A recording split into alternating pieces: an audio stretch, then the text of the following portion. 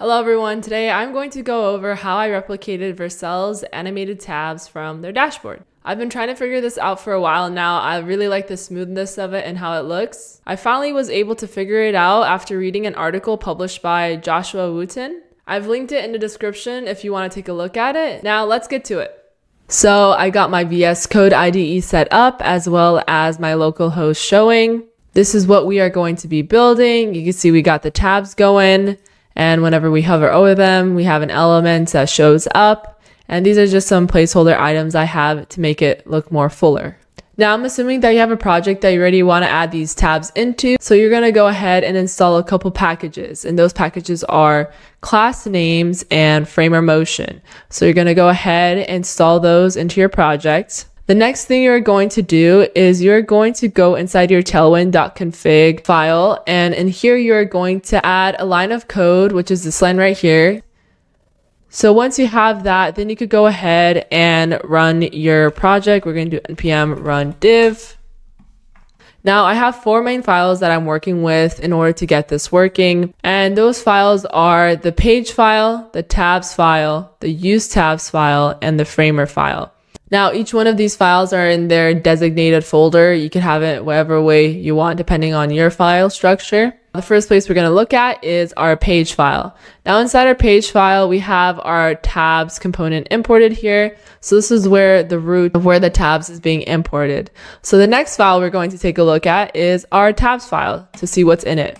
Now inside our tabs file, there's a couple things that are going on. In the top, we're importing a couple more components. The other components that I mentioned from the files that we're going to take a look at next are right here. We got framer and use tabs. Now these imports are the placeholder items that I have currently of what shows up when you select a specific tab. So these are those. You can see that we have a constant called hook props. So these are the props that we are going to be inputting into our use tabs hook, which we'll see. This is where we create our labels for each one of the tabs, the children, so the things that are, that are showing up when you click on a specific tab. That's all happening right here.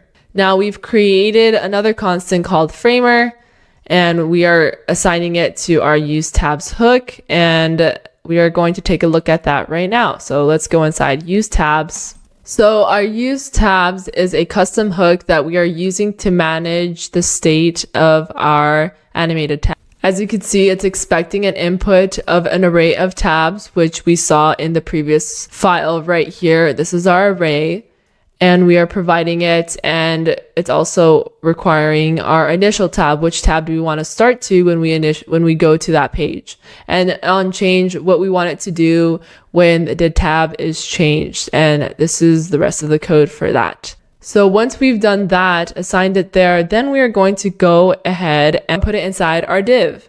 So you see we got framer tabs right here and that is coming from our lib framer right here that we are exporting. So at the top, we are importing a couple items. So one of them is the tab from use tabs hook that we were just looking at before, class names that we installed earlier, as well as a couple items from framer motion that gives us this nice animation. Now we have this transition constant that we initialized here to show like what kind of transition that we want.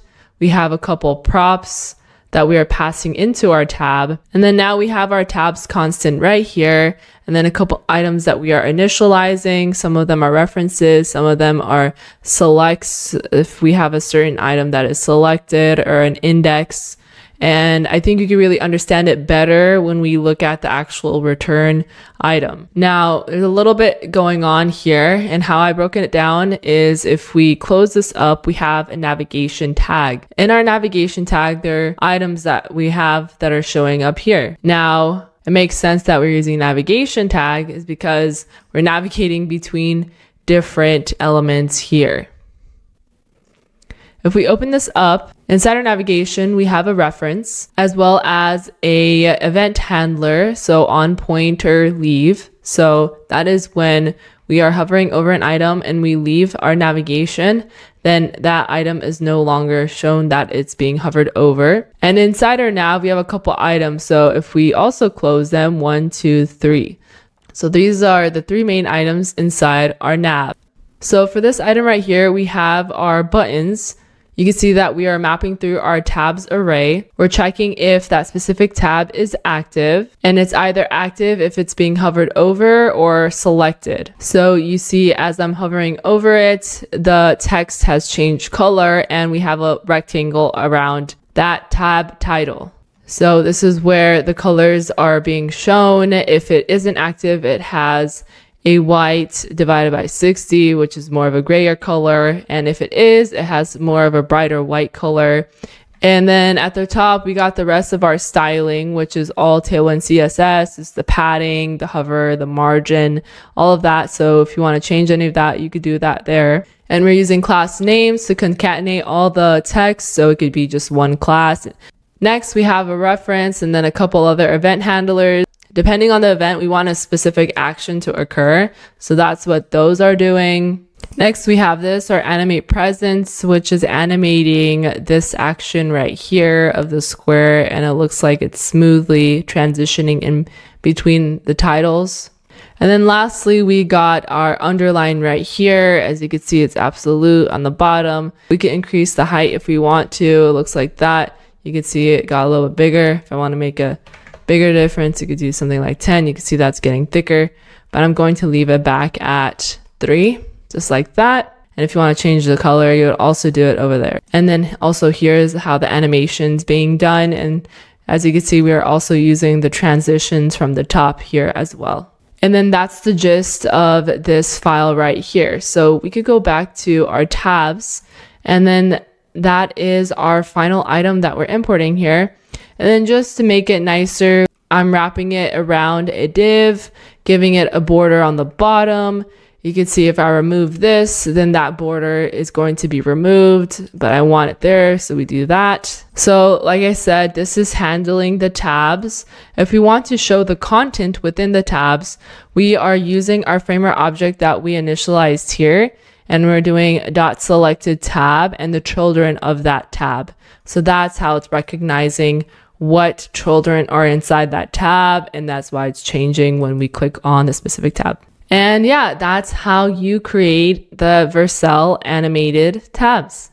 Thanks for watching. That's it for this video. Everything that I talked about is going to be in the description below. If you have any questions, feel free to leave it in the comment section or join our Discord community. And yeah, thank you. Bye.